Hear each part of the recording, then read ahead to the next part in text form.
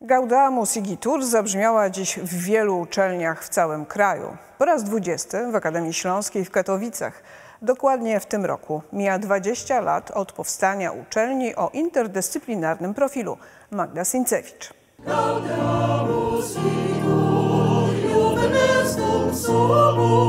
Technika, sztuka i medycyna.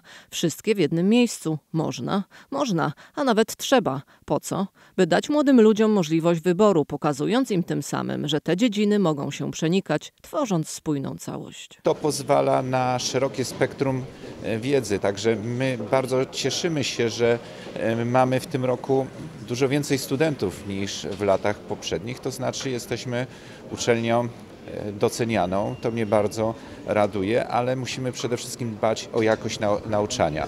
I ja wszystkim swoim wykładowcom powtarzam, że interesuje mnie przede wszystkim jakość, jakość, jeszcze raz jakość. I tak już od wielu lat. Te 20 lat funkcjonowania na rynku jednak na pewno pokazuje to, że szkoła ma doświadczenie, wie w jakich niszach szukać nowych kierunków, stąd też myślę, że ta szeroka interdyscyplinarność. Natomiast na Śląsku na pewno potrzebujemy e, osób z wykształceniem technicznym, dlatego takie szkoły jak Akademia Śląska są bardzo ważne e, po to, żeby kształcić osoby, które będą zasilały nowoczesny przemysł, zasilały nowoczesną gospodarkę. Między innymi o tym opowiadał znany popularyzator nauki i fizyk cząstek dr Tomasz Rożek, który wygłosił wykład inauguracyjny.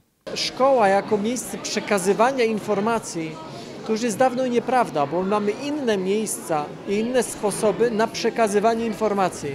Może szkoła powinna być raczej miejscem porządkowania informacji, może miejscem łączenia informacji w większe całości, żeby rozumieć nie detale, tylko żeby rozumieć całe procesy. By młodym ludziom wchodzącym dopiero w dorosłe życie to ułatwić, potrzebne są autorytety. Będziemy uczyli nie tylko tego, jak zajmować się chorym, ale będziemy przede wszystkim uczyli empatii. Empatii dla pacjentów i na to będziemy zwracali bardzo dużą uwagę. Bo uważność na drugiego człowieka przynosi efekty. Myślę, że przede wszystkim poznaje się bardzo ciekawych ludzi, którzy napędzają się nawzajem i nawzajem się motywujemy.